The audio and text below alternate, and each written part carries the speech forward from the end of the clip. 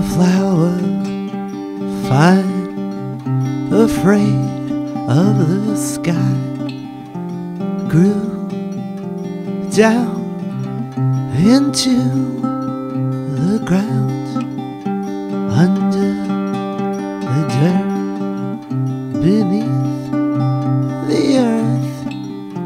A flower underground.